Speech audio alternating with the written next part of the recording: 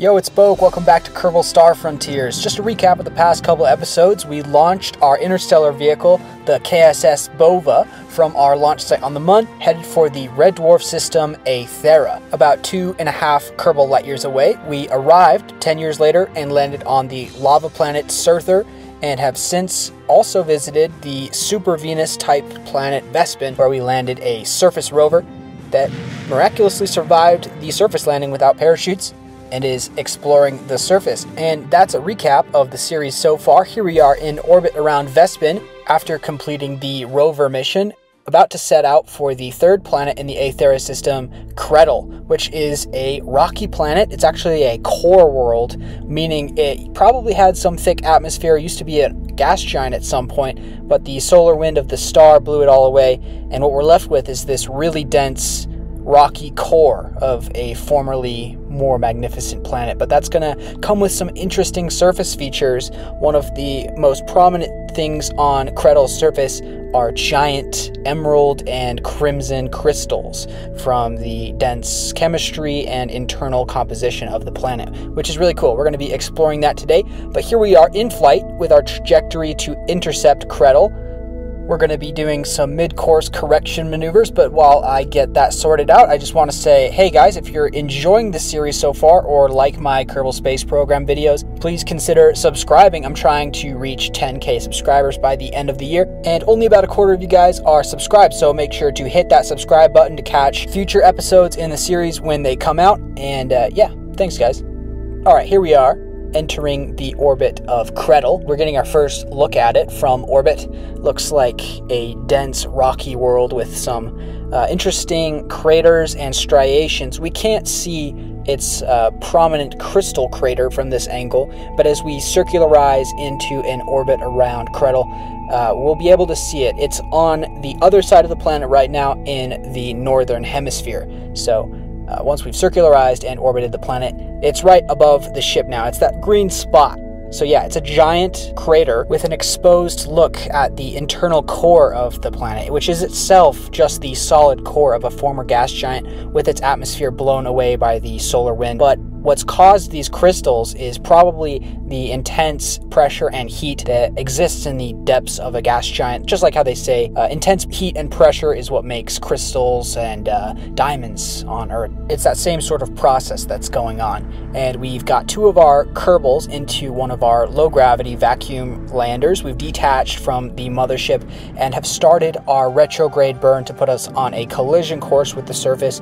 But we're going to be burning one of the normal or anti-normal directions to adjust our orbit to intercept that of the crystal crater, which is coming up over the horizon as we orbit around the planet.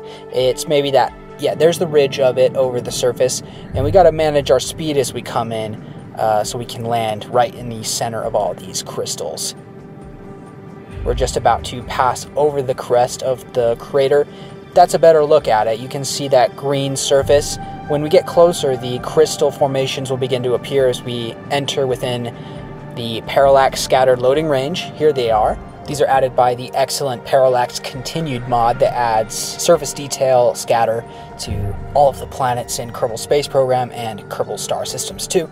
We're coming in for our landing. You can see these crystals. As we get closer, we realize just how huge they are. They're like multiple stories tall, you guys. And we're going to be choosing this semi-flat spot for our landing I always try to finesse these landings as much as possible by coming to a really soft landing. That was pretty good.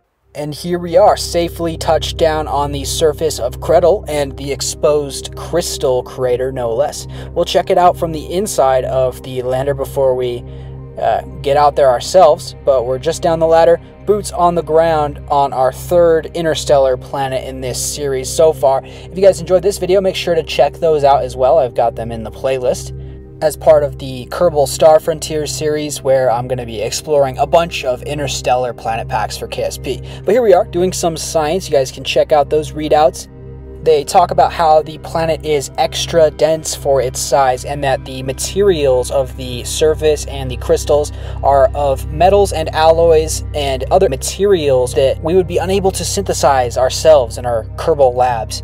All that's pretty interesting to our Kerbals, I'm sure, but what they're really looking forward to is climbing one of these things themselves. So here we are, walking towards the nearest emerald pillar jutting out from the surface. Actually, I'm not sure if it's made of emerald, but it, it looks emerald. Like this stuff is something out of The Wizard of Oz, for real.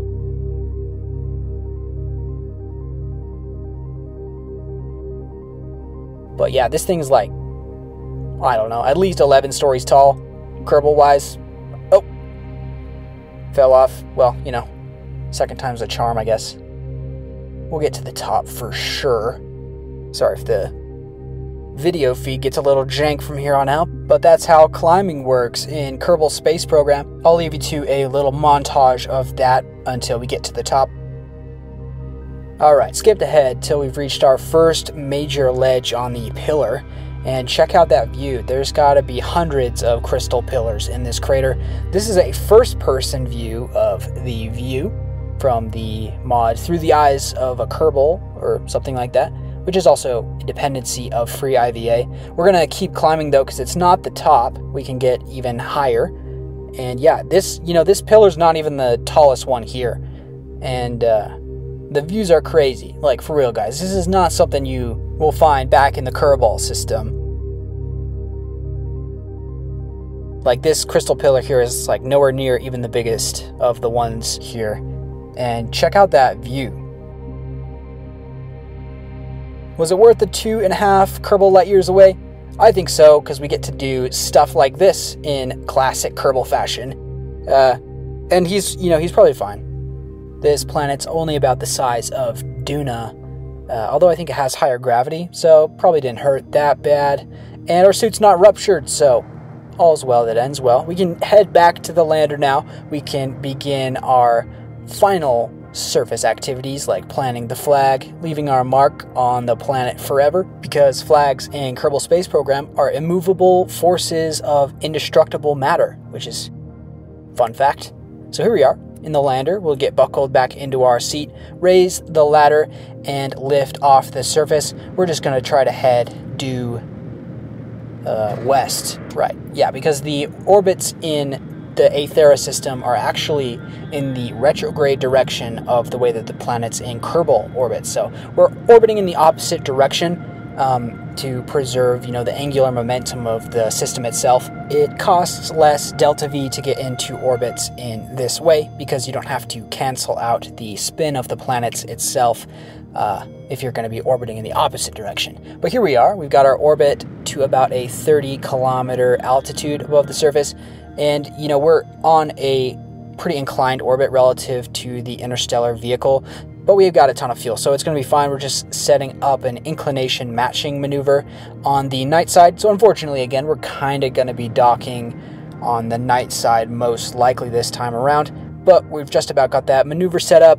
We're on a zero degree separation, or just about, and we're coming in on our second orbit. We're just going to burn retrograde relative to the target. That's going to bring those close flyby maneuvers next to each other. We're going to wait one more orbit. We're kind of passing above the surface on a pretty low altitude on that pass around, but here we are, less than a kilometer out, and there the ISV is in the skies above Kretel. But once we've killed off the rest of our speed, we can dock this thing back to the mothership and uh, because my ship has kind of an uncomfortably large part count, and we're not super concerned with bringing these empty landers all the way back to Kerbal and the Kerbin system at the end of this, we're going to uh, just you know get our Kerbals back into the ISV. Then we're going to ditch the empty lander, which will actually reduce the part count that the game has to load in for this craft, and it'll make performance better in future videos. So that'll be great and we've docked our lander successfully to the ISV. We'll transfer those guys back into their crew quarters.